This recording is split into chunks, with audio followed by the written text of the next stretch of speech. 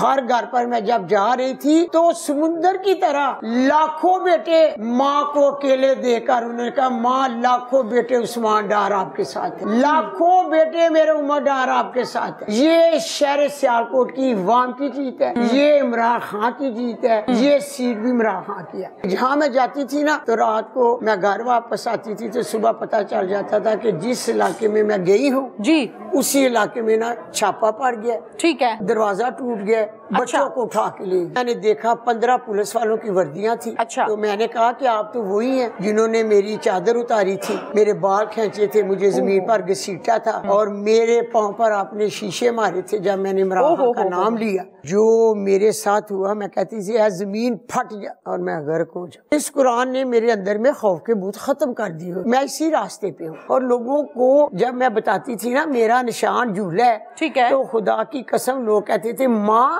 दिलों में झूला है। जिन लोगों ने मारे खाए जिन लोगों के घर टूटे जिनों के बच्चे उठाएँगे क्या मैंने उनके लिए कुछ नहीं करना? लोग तो मुझे कहते थे कि हम अपनी नस्लों को भी कह के जाएँगे कि ख्वाजा से के घर से कभी भी कोई नस्ल भी उठे तो आपने वोट ही नहीं देना। इतनी लोगों ने इज़्ज़त प्यार और चाहत की कि मैं आपको बता नहीं सकती। इतनी सख्तियाँ इतनी ये फस्तायत होने के बावजूद लोगों का खलूस देख के जिधर से निकलते थे उधर पुलिस चली जाती। मैं अगर निकली हूँ ना दस मिनट बाद उनके पुलिस चली गई।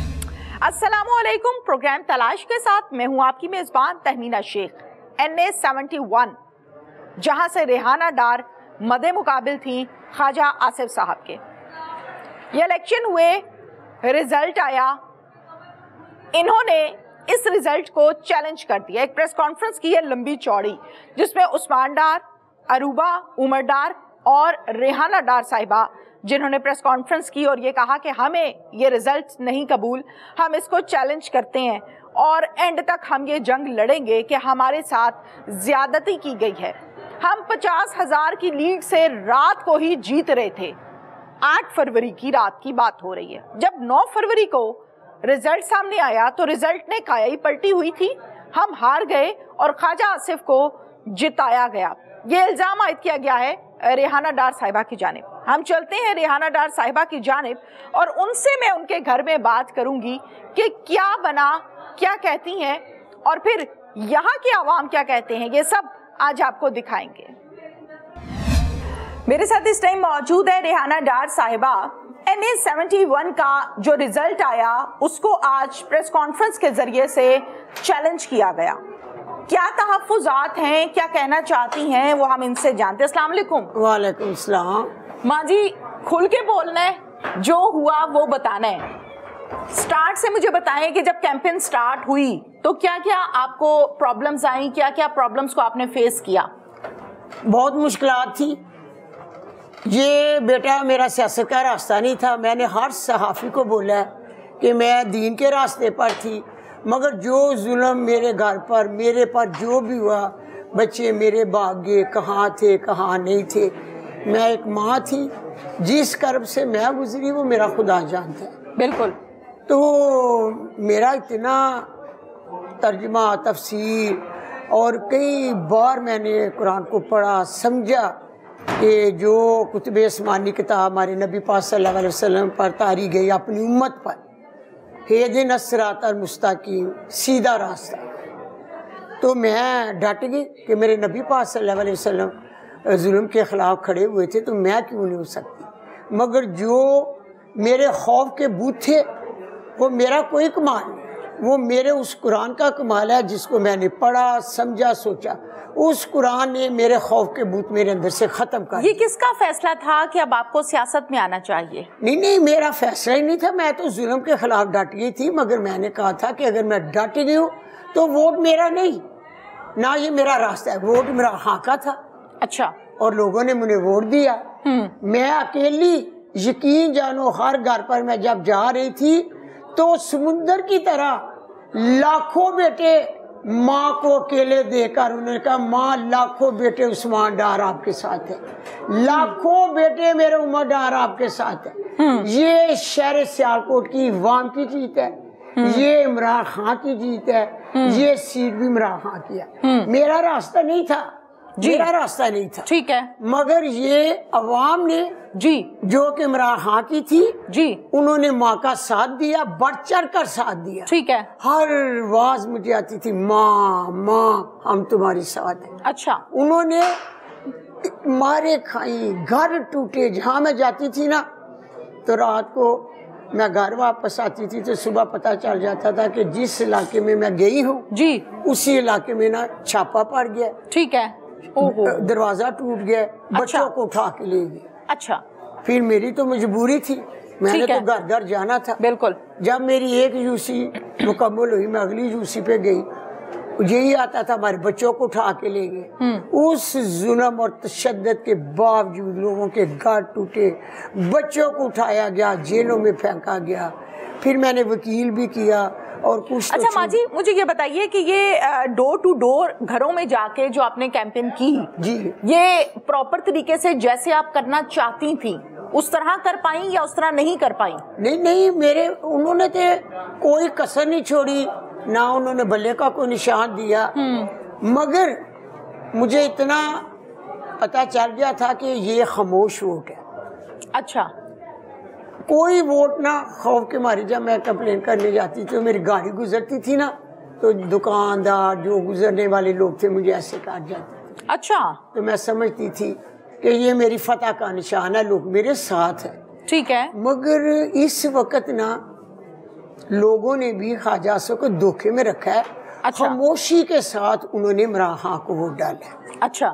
और जुल्म का वोट डाला अच्छा हम हम वोट वाले डे पर भी आते हैं। थोड़ा सा वोट के डे से हम पहले पर बात करते हैं। मैंने बहुत सी वीडियोस आपकी देखी जो सोशल मीडिया पर माजी वायरल थी जिसमें हम ये देख रहे थे कि रिहाना डार जो है वो दुहाई दे रही हैं कि पुलिस ने हम पर तशद किया है मेरे घर के दरवाजे तोड़ दिए हैं घर के अंदर आए हैं।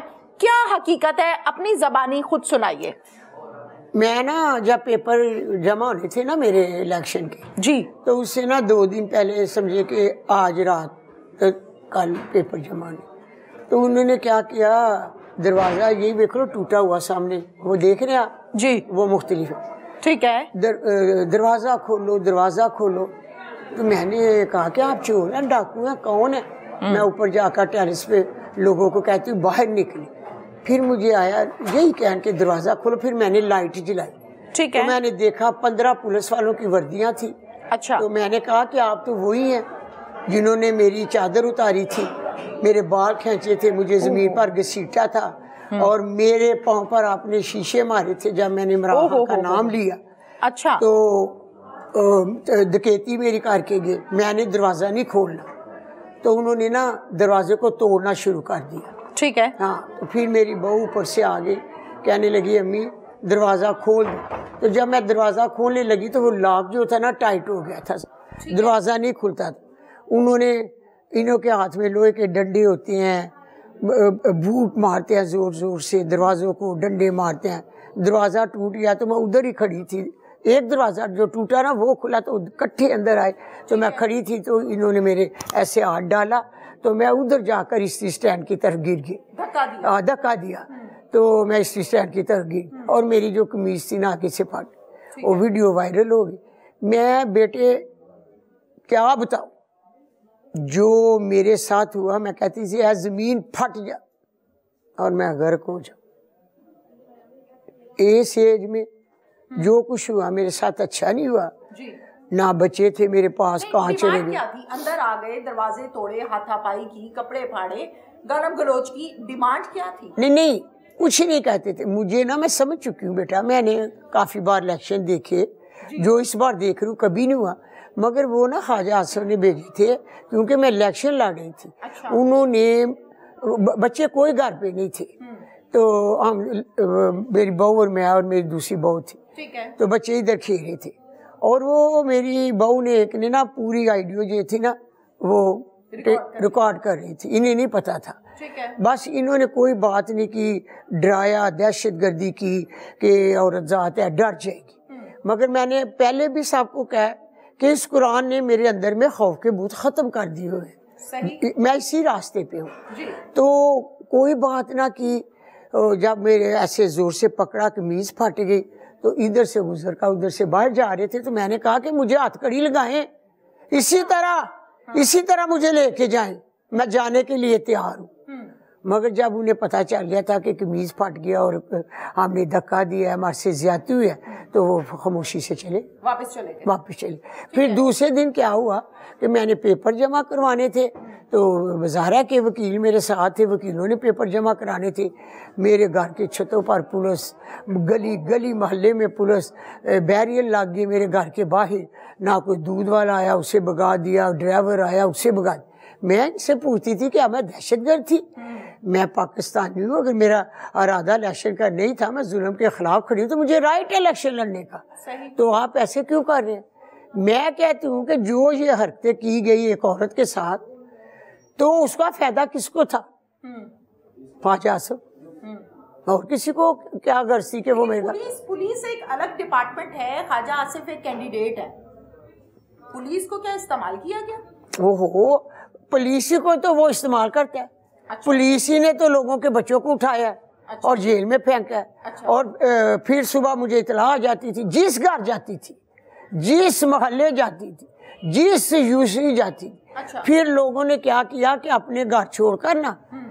कई लोगों ने कहा कि ऐसे तो गिरफ्तारियाँ होती जाएँगी पकड़ते जाएँगे जेल में डालते जाएँगे तो उन्होंने कहा कि अपने अजीजदारों के घर सोना शुरू कर दिया ठीक है बचने के लिए मंजर आम से साइड पे हो जाए हाँ साइड पे हो जाए तो लोग कहते थे माँ जी हम आपको देकर अपने घरों में नहीं सोते हम अजीजदारियों के घर चले जाते हैं हम सर ये वो बेचारे मेरे साथ निकले हैं जो कि वो चेयरमैन थे जो कोई काउंसलर था वो मेरे साथ थे तो पता चलता था उन्हें बिठा के ले ठीक है। अच्छा जी वोट का दिन आ गया। तैयारी हो गई जुल्म सहलिए पुलिस ने जो किया वो भी आवाम के सामने ब्रेकिंग न्यूज़ चलती रही। वोट कास्ट करने गई आप? वोट डालने गई? ना वोट में डालने गई मगर कुछ हल्के जो थे ना वो ठीक थे। ठीक है। तो कुछ हल्कों में मैं गई ना तो वो उन्होंने शेर के निशान लगाए हुए थे। तो जहाँ वो पर्चियाँ काटते हैं पोलिंग उनके अंदर दो पुलिस वाले आदमी थे। अच्छा। और साथ वो जिसने शेर लगाया था वो था। तो मैंने कहा कि आपको लौटती नहीं ना आप इस तरह यहाँ पोलिंग अंदर हो रही है तो इसका इनका क्या काम है? फिर- पुलिस वाले जो थे वो यूनिफॉर्म में थे? आज यूनिफॉर्म में थे। तो मैंने उन्हें बाहर निकाला। अच्छा। मैंने कहा कि आपका कोई काम नहीं। मैं तीन चार स्टेशन पर बोल के भी आई। मैंने कहा कि आपका क्या काम है? मगर मैं समझती हूँ जिन स्टेशनों पे इन्होंने धांधली की हाँ। इन्होंने ठप्पे लगाने की कोशिश की और जो लोग मेरे पास रिज़ल्ट लेके आए फोर्टी फाइव फॉर्म है किसी के गर्दन पे निशान थे किसी के बाजू पर मारा गया था किसी के वो बेचारे जोब कोप तशद सह के मेरे पास वो उन- देते ही नहीं थे फोर्टी फाइव फार्म अच्छा। उन्होंने ना बड़े ज़बरदस्ती लड़ाई झगड़े के साथ वो मेरे पास पहुँचे। और मेरे पास ओरिजिनल काफ़ी तादाद में 300 के ऊपर है 350 के ऊपर है मेरा आलम पहुँचे पास। अच्छा। फिर जब रिज़ल्ट मेरे अनाउंस हुए तो ख्वाजा असफ जो मेरे पास है उनमें से एक हल्के की जीत नहीं उन्हें अच्छा। हाँ सब मेरे पास मौजूद है ओरिजिनल है मेरे पास। पेपर्स मौजूद हाँ, है? मौजूद है साइन हुए हैं रिज़ल्ट के। ठीक है। फिर कुछ हल्के पता नहीं रह गए थे। तो वो लोग भी मेरे पास आए। हम्म। पुलिस ने मार मार के बाहर निकाल दिया और अंदर से कुंडी लगा दी अच्छा बूथ्स के हाँ, ऊपर? बूथ के बाहर निकाल दिया ना अच्छा, सड़क पे है, निकाल दिया। ठीक है, सड़क पे निकाल दिया बूथों से। निकाल कर तो अंदर से कुंडी लगा ली जो स्कूल थे या जौन सी भी कोई जगह थी। बहुत सारे लोग फिर रोते हुए मेरे पास भी आए। अच्छा। तो उसके बावजूद जो मेरे पास रिज़ल्ट है मैं माशाल्लाह पचास हज़ार की लीड ले रही हूँ। और बहुत से सहाफ़ी टीनी चैनल वाले आप लोग भी जितने सहाफ़ी मेरे पास आए हैं उन्होंने हमेशा मुझे यही कहा कि माँ आप जीत रही हैं और ख्वाजा आसम पंद्रह बीस फ़ीसद भी हम्म।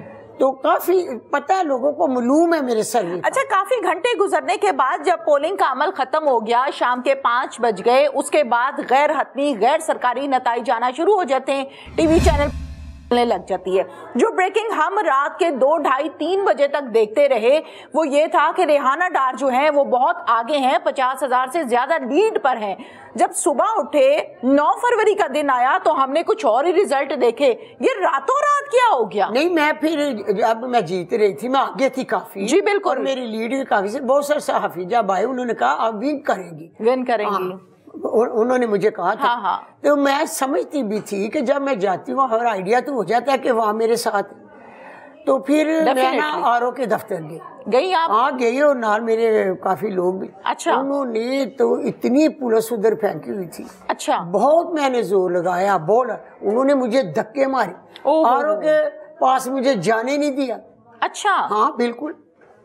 फिर? फिर वो रिज़ल्ट तब्दील किया गया। रिज़ल्ट तब्दील किया गया। अच्छा अब जो रिज़ल्ट आया है उसको चैलेंज कर दिया गया है। हाँ। हमने प्रेस कॉन्फ्रेंस भी देखी आप आपके साहेबजादे बहू सबने मिलकर एक प्रेस कॉन्फ्रेंस की है और ये कहा है कि हम इस रिज़ल्ट को चैलेंज करते हैं। अगला लाहे अमल क्या है आपका? वो तो चैलेंज करेंगे। तो फिर इंशाल्लाह ताला मैंने आज उसी रिज़ल्ट के ऊपर अपना कुरान पाक रख के जिस रास्ते पर मैं चली थी उसी रास्ते पर आके मैंने कहा है कि इस कुरान पर मैं शुरू हुई थी। जी। और उसी कुरान की बदौलत हम्म। अल्लाह ताला वसीले बना देता है। जब मैं खड़ी हो गई मैं सोच भी नहीं सकती थी बेटा कि समुंदर की तरह लाखों मेरे बेटे उमर डार उस्मान डार लाखों हाँ। मेरी बेटियाँ मेरी बहनें मेरी माँ मेरा साथ देंगी। सब लोगों ने अपनी अक्लमंदी से खामोशी के साथ वोट दी है कि पता है। ही ना चले कि हम किस निशान पर वोट डाल रहे हैं बिल्कुल इन इंशाल्लाह ताला इसी वजह से भारी इतदाद अक्सरियत से मुझे वोट मिला। मगर मैंने उस कुरान पर जो मेरे पास ओरिजिनल आए हैं मेरे रिज़ल्ट मैंने उस कुरान पर रख के कहा कि अल्लाह तेरी किताब पर शुरू हुई थी और तेरे ही कुरान पर मैं ख़त्म करना चाहती हूँ और ये फैसले मेरा कुरान और मेरा अल्लाह वो मुहाफिज है उसके फैसले बेहतरीन है। बेशक। और लोगों को जब मैं बताती थी ना मेरा निशान झूला है ठीक है। तो खुदा की कसम लोग कहते थे माँ दिलों में झूला है। वाह। दिलों में झूला है माँ दिलों में झूला। हम्म। तो हमारे निशान के हमारे पास तो पेपर लगाए वो उन्होंने वो भी उतार दिए। इतना जुल्म मैंने आज तक अपनी ज़िंदगी में नहीं देखा। बिल्कुल ठीक है। इतना जुल्म सितम सहने के बाद तोमतें फजूल गुफ्तगु इल्ज़ाम रुकावटें मसले मसाइल इन तमाम चीज़ों को रेहाना डार साहिबा आपने फेस किया है जी। आप डटी रही आप झुकी नहीं, नहीं। आप पीछे नहीं हटी नहीं। अब फैसला आ गया है फैसला बकौल आपके आवाम के के धांधली से आया है मुझे अंडर प्रेशर किया जा रहा है और मुझे धांधली के ज़रिए से हराया गया और ख्वाजा आसिफ को जिताया गया बकौल आपके। फैसला भी आ गया है। अब आगे भी आपने डटे रहना है या बस ठीक है? देखा मेरी बात सुनिए। अगर मैंने कोर्ट में चैलेंज किया है तो मेरे पास सबूत तो है ना? सबूत है। मैं साथ लेके जाऊँ? अदालती जंग लड़ने के लिए तैयार है? बिल्कुल। देखो मेरी बात सुनो। मेरे केले की बात नहीं। जिन लोगों ने मारे खाई जिन लोगों के घर टूटे हम्म। जिनों के बच्चे उठाएँगे क्या मैंने उनके लिए कुछ नहीं करना? बिल्कुल वोट तो उन्हीं का है। वोट उन्हीं का है। ठीक है। वोट तो मेरा नहीं। बिल्कुल दस का वोट मेरा हो सकता है। बिल्कुल सही। मगर वोट इमरान खान का था। लोगों के घर टूटे किसी का दरवाज़ा टूटा किसी के घर के शीशे तोड़े गए बच्चों को उठा के जेल में ले गए तो मैं समझती हूँ वो लोग तो मुझे कहते थे कि हम अपनी नस्लों को भी कह के जाएँगे कि ख्वाजा से के घर से कभी भी कोई नस्ल भी उठे तो आपने वोट ही नहीं देना। हम्म। ये जिन लोगों के साथ जुल्म हुआ है क्या वो वोट देंगे? ठीक। ये अपनी भी सोच है ना बिल्कुल ठीक है। सियासी माहौल शुरू से आपने देखा है। ये कोई नया नहीं आपने देखा शुरू से देखती आ रही है। इस दफ़ा का सियासी माहौल और इस दफ़ा के इलेक्शंस को साबका इलेक्शंस पर कैसे बयान करेगी कि ये हो क्या गया है इस दफ़ा? पहले क्या होता था अब क्या हुआ है? नहीं पहले भी होता होगा बेटे पहले मेरी दिलचस्पी नहीं थी। अच्छा। मैं अब भी मेरी दिलचस्पी नहीं थी। जब मैं खड़ी हुई तो वहाँ ने मेरा साथ दिया, बेटों बेटियों ने। बड़ा, मैं बयान नहीं कर सकती कि बहुत बुज़ुर्ग लोग थे, कैसे। तो जब मैं गुजरती थी तो मेरे सर पर हाथ रखकर उनके आँसू निकलते थे। तो कहते थे, माँ, आप उस माँ, डार की माँ नहीं हमारी भी माँ है। तो मैं लोगों के जज्बा देखती थी, उनके आँसू देखती थी, उनकी आँखों में मुझे मोहब्बत नज़र आती थी, ममता की। तो मैं भी उन्हीं नज़र से उनको देखती थी जैसे मैं अपने बच्चों को देखती हूँ। दर्द दिल रखने वाली माँ के आगे जो सहबी औलाद होती है ना बिल्कुल। वो हमेशा दूसरे के बच्चों को भी अपनी नज़र से देखती बिल्कुल सही। तो लोगों ने मेरे से प्यार किया मोहब्बत की माँ को वोट दिया हम्म। माँ की हजीम हस्ती को समझा हम्म। कि वो मारा आपने सुना होगा कि माँ साजिया हम्म। लोगों ने वैसा ही किया मेरे बिल्कुल साथ। ऐसे ही है। मैं उनकी शुक्रगुजार हूँ। मेरे दरवाजे मैंने कहा था बच्चों याद रखना माएँ बच्चों के लिए दरवाजे बंद नहीं करती उन वो दरवाजे खोलती है। हम्म। मेरे दरवाजे हमेशा आपके लिए खुले रहे। सियालकोट की आवाम के लिए क्या मैसेज है आपका? मैंने तो मैसेज दे दिया कि मैं उनका शुक्रिया अदा करती हूँ। इतना तशद और जुल्म सहने के बावजूद मेरे बेटे बेटियाँ मेरी माएँ बहनें मेरे साथ खड़ी रही। मेरी जीत है। अब भी सारे सियालकोट के लोग जिन्होंने मुझे इतनी शानदार जीत दी है वो कहते हैं माँ आज भी हम आपके साथ खड़े हैं। इन ताला मैं उनके लिए जंग ज़रूर लड़ूँगी। लेकिन आगे भी मैंने देखा है कि बहुत सारे मेरे जजीज ने, आला दिलिया ने मुझे इंसाफ दिया, जो मैंने उमर डार का केस किया, उस पर भी मुझे उन्होंने बहुत अच्छा रिस्पॉन्स दिया। फिर जब मेरे ऊपर दस मरले ज़मीन डाल दी गई, फिर भी उन जज साहब ने मुझे इंसाफ दिया। मेरे अला दिलिया पर मुझे फ़ख्र है और दूसरे मैं अपने सारे रिज़ल्ट लेके जाऊँगी।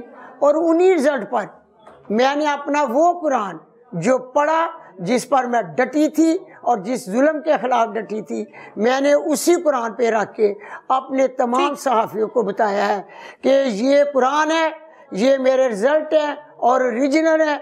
मैं इसी पर कुरान रख कर ये अदालत से फैसला करूँगी कि आप इसको मद्देनजर रखकर फैसला दे। ठीक है अगर बेटे दुनिया में फैसला मिल जाए तो बेहतर है।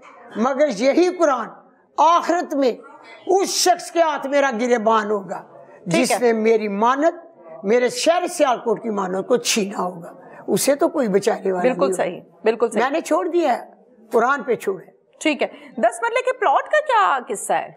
वो उसे पता था कि मैं, मैं तो औरत हूँ मेरा तो तलक नहीं। तो वो क्या निकालता मेरे लिए? कोई करप्शन नहीं थी उसके पास कोई हम्म, ऐसी चीज़। है उसने ना दस मरले ज़मीन निकाल। ली किसने? तो हाज आसिफ साहब ने ना अच्छा। मेरे पेपरों में ना पटवारियों के ज़रिए ठीक है। ये काम करवाया। अच्छा। मुझे रोकने के लिए हम्म। कि मैं खाली मैदान छोड़ दूँ। ठीक है। पर वो मैदान तो मैं डट गई थी कुरान के ऊपर हम्म। मेरा फैसला था। वो तो मैंने पीछे नहीं हटना था। ठीक है। खौफ के बूत मैंने ऐसे तोड़े। ऐसे अपने अंदर से खौफ के बूत मेरे चले गए हुए थे। बहुत सी औरतें बहुत सी लड़कियाँ बहुत से मेरे भाई। उन्होंने कहा मैं कि आपकी ज़रूरत को सलाम करते हैं? आप खड़ी हुई तो हमें शर्म आ गई कि एक बूढ़ी माँ खड़ी हो सकती है तो हम नौजवान क्यों नहीं बाहर निकल सकते? ठीक है। लोगों को मैंने निकाला कि खौफ के बुत तोड़ो निकलो और जुल्म का मुकाबला करो। हर रोज रात होती है सवेरा ज़रूर होता है। बिल्कुल, हर रात एक के बाद रात ऐसी आएगी जब मेरा अल्लाह ताला कुन फयाकून का हुक्म देगा? ए सवेरा तू उजाला बन जाए और रोशनी रोशनी होगी। इन ताला वो फजल खुदा, मुझे अल्लाह से पूरा भरोसा है और उम्मीद भी थैंक यू मेरे साथ इस टाइम मौजूद है रूबा उमर डार, जो कि पीपी 46 से आवाम के नुमाइंदा के तौर पर खड़ी थी। Door to door campaign proper तरीके से कर पाई या नहीं कर पाई? और अगर नहीं कर पाई तो क्या क्या मुश्किलात को इन्होंने फेस किया?